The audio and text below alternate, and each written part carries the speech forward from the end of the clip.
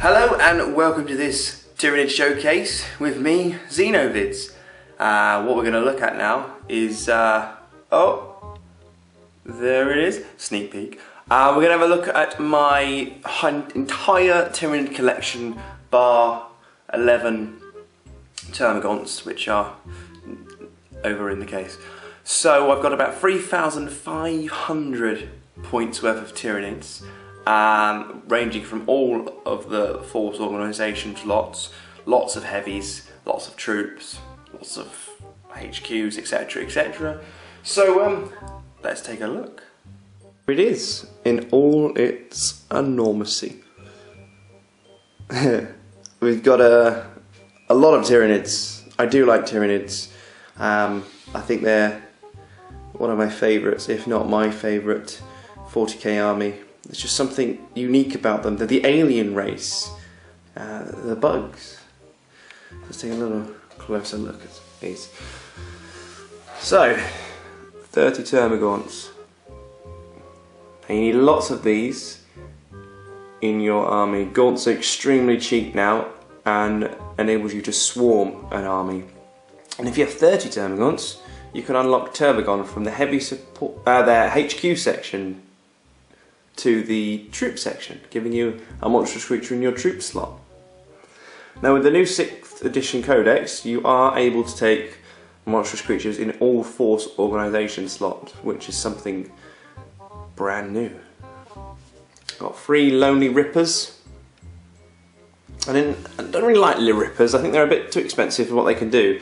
When you compare them to Necron Scarabs, which are cheaper, and can take down armor saves and vehicle hold points and armor values and stuff like that. Then we've got 30 Hormagaunts. I've always liked Hormagaunts. I see people criticise them a lot, but if you just think 30 of these running at you, they move 6 inches, they then run, and they add 3 inches to their run roll. And if you don't like their run roll, you can re-roll it because they have fleet. And two attacks standard, and there is a chance if they get rage, if they're out of synapse with their instinctive behaviour, and they charge, and you've given them the special ability so that they have poison, you have um, them rolling to hit four attacks, and with poison they roll on fours instead of fives like normal which is quite devastating. So, I have one, two, three, four, five, six, seven, eight Genestealers. Eight Genestealers! What do I think about Genestealers? The models are great. The fluff are great. The actual in-game play, horrendous. Low armor save. They can dish lots and lots of damage out, but you can be shot by with a slingshot for crying out loud, and they'll die. So Genestealer's not for me.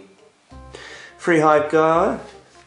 They've got great weapons, although they're now ballistic skill free when they were a 4. And the best buff of the entire codex, the Venomthrope, which gives everything within 6 inches shrouded. So, if that unit is within 6 inches, the whole unit gets shrouded. So you can have a giant bubble of cover which is much needed in this codex. You shouldn't be relying hugely on armor saves, you should be relying on cover saves and other models getting in your way. I've got three zoanthropes. This one was my conversion for the Doom of Malan'tai. I added a helmet piece from a Mawloc onto him, just to kind of make him look a bit cooler. But now there's no more Doom of Malan'tai for now, due to the Chapter House Games Workshop malarkey legal battle. Coming back over this way, I've got three warriors, just kitted out with Devourers and Scything Talons. Um, I know I do like the new kit where you can make a prime, and I've seen a lot of battle reports um, on Mini Wargaming where they've taken a full squad of nine, given them bone swords as well, and bone swords with are brilliant because I'm pretty sure if you have a warrior squad with a Tyranid Prime, he gets their ballistic skill, maybe weapon skill as well. But bone swords, AP free weapons, and on sixes instant death. So that's pretty cool. Then I do have some gargoyles that need much love, but I do also have 30 of them. 30 amazing gargoyles. These are pretty awesome, cheap, 12 inch movement, and able to do a few pot shots, but really great for just forming a line of cover. If you have these bad boys at the front, moving up with a venomthrope near your army, your opponent will shoot into your army. Any models behind it will get a 5 up because you have your models in the way.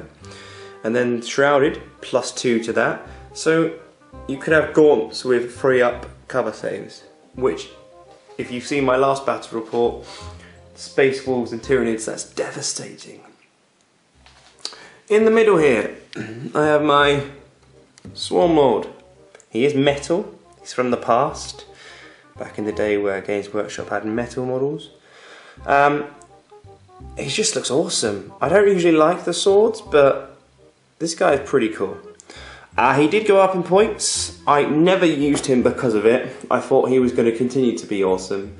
Um, for his points, I don't know if he's worth it because you have, if you're walking a tyrant, you have to have him with a bodyguard, and no, I don't have any tyrant guard, um, and I don't want to go out and spend the points and the money for that where I could have two Winged-Hive Tyrants. So uh, let's have a look at the Winged-Hive Tyrants then. One of them I have converted. I don't really like the look of Devourers on uh, monstrous creatures, and I have seen in White Dwarf and pictures you can buy Devourers Games Workshop making them specifically for the monstrous creatures, and I just think they look too stubby and small. So what I've got here is two of the arm pieces from the Tyrannofex kit, and put them on his arms, and it looks more buggy, so he looks like a giant praying mantis, which fits in with the bugs theme, um, and looks a lot cooler. Um, I think Games Workshop also did one like this afterwards, and the other one I've got uh, I've just got Lash Whip and Bone Sword on him. But I also kit him out with Twin Link Devourers, Brain Leech Worms. Two sets of them because they are awesome. I've got five Spore Mines and a Biovore. He is a lot of fun to play with, but that's really it. He, he's you can I think 40 points. You've got a barrage shooting AP4, awesome. And Spore Mines aren't as bad as they used to be, which is good. Free Carnifexes then. The I've got them with bone uh, crushing claw and scything talons. I think they look better as raw creatures of doom and smashing, smashing, but they are all in my list two sets of twin link devourers with brain leech worms, giving them 36 shots, which are twin linked, and then their strength six. So it's going to be doing a lot of damage to light vehicles, infantry, and terminators. It's just mass amount of shots, which is devastating. Then I have two Tervigons.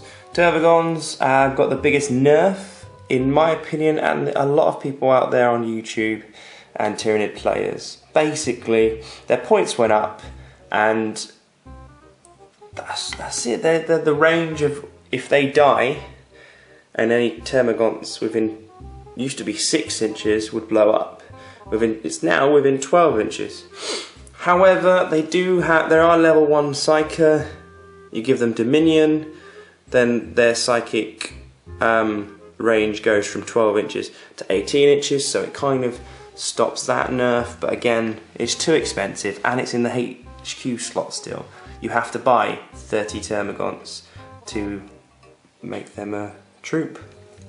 But that's what I do. I used to take two, I now take one, just so I have a monstrous creature able to hold objectives, or if it's kill points, move up and spawn some gaunts and just overwhelm. I'm gonna go over here to my Tyrannofex. Another good model, one of the biggest, good looking model. I've got him with a rupture cannon, but I would probably field him with the hive node thingy, I think I'm saying it right. 20 shots essentially just mass firepower again because the Tyranids, although I prefer them to stay how they are, just mass swarms and num num num num num, they're now Daka Daka Daka Daka Daka Daka. The ability to have Twin Link Devourer Brain Leech Worms in a lot of monstrous creatures. You've got mixture of guns you can have on the Termagants and warriors and such and such. They're very, very shooty. And I guess you kind of need to weaken your opponent with shooting first before you finish them off with your giant jaws. Uh, effects, good. It went down in points by loads, but I don't use him anymore. There's not a space for him in my list.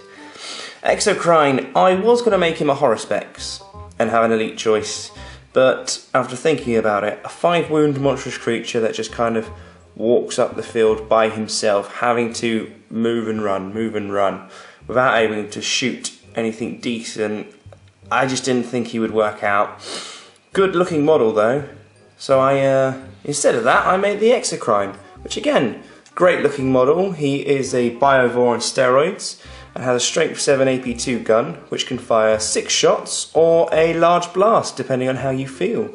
So that is brilliant. Monstrous creature that can move up and do Plasma Doom. Great addition, much needed high strength, low AP firepower. And then to finish it off, I have uh, these two bad boys, a Trygon Prime and a Mawloc although I do use them both as a Mawloc, but I will can also use them as Trygon Primes or Trygons because I don't want to go and buy lots more. These are great models. Mawlocs are fun. 140 points I think it is and they can possibly come up and destroy you from below. Trygon Primes never mishap unless they go off the table. So they come in like a drop pod essentially and then you have it there. This awesome synapse monstrous creature of doom, which has I think about seven attacks on the charge, um, which is taking down anything. I mean, this on the charge with smash and could take down any vehicle really, possibly even an Imperial Knight Titan. But yeah, that is. I just come out of it. 3,500 points of Tyranids. This is the showcase for my favoritist army. I started collecting Tyranids properly in 2010. I think that was when the 5th edition codex came out for the Tyranids. Yeah, that's when I started doing it properly. Um, and then when 6th edition hit, they were definitely my main army. I have been having a lot of fun, and in our 40k league, uh, we've done it so each of us have three armies. So there's two of us, we each have three armies we play all the armies together against each other, and then if it's two of my armies together, my opponent gets to play as one of my armies as well. So he's had the chance to play as Tyranids, and he's enjoyed uh, playing them.